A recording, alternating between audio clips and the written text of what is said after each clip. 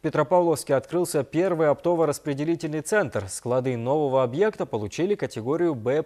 Благодаря ему путь от товаропроизводителя до потребителя значительно сократится, а цены на продукты снизятся на 15%. В церемонии открытия современного комплекса принял участие глава региона Кумар Аксакалов и наша съемочная группа.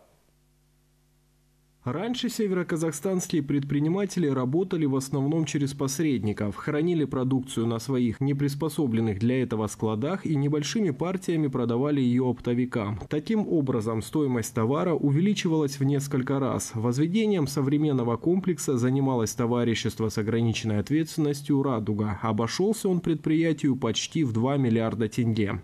Оснащены современным специализированным оборудованием, позволяющим оперативно проводить погрузочно-разгрузочные работы, позволяющим хранить товар в 5 ярусов, то есть это стеллажное современное оборудование. В данном складе категории B+, мы можем хранить до 10 тысяч тонн товаров.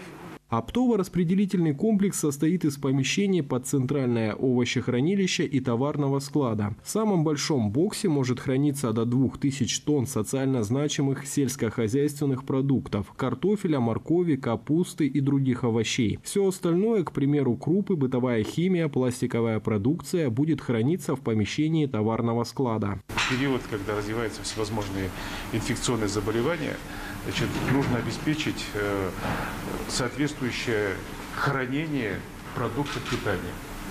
Все, что потребляет человек, э, вот, в складах должно быть все соблюдаться автоматикой. Э, понятно, что вот когда ОРЦ заработает полную силу, сразу отпадет значит, необходимость в этих посредниках.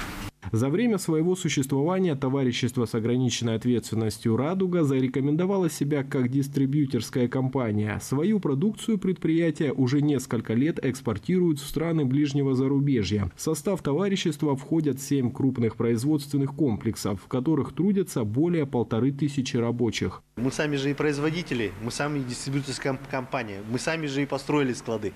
Ну, для нас это, это мечта, вот для меня мечта. Я занимаюсь дистрибьюцией 20 лет, это сложились как бы все пазлы. Просто области надо было, мы смогли это построить, и мы смогли сами же как бы его у себя взять в аренду, и сами вот вы сейчас видите, как качественно лежат товары. Здесь хранится, можно сказать, вот все, что нужно, вот что вы приходите в магазин, все, что здесь. Есть бакалейная продукция, есть э, товары, ну, продукты быстрого приготовления, мука, крупа, ну, э, хлопья кукурузные, также есть приправы, пластиковые изделия, то, что мы производим сами, то, что мы продаем. Здесь весь спектр. В планах предприятия начать производство туалетной бумаги и полотенец. В качестве сырья товарищество планирует использовать солому и макулатуру. Кирилл Потемкин, Асель Розбаева, Юрий Скаков, Служба новостей.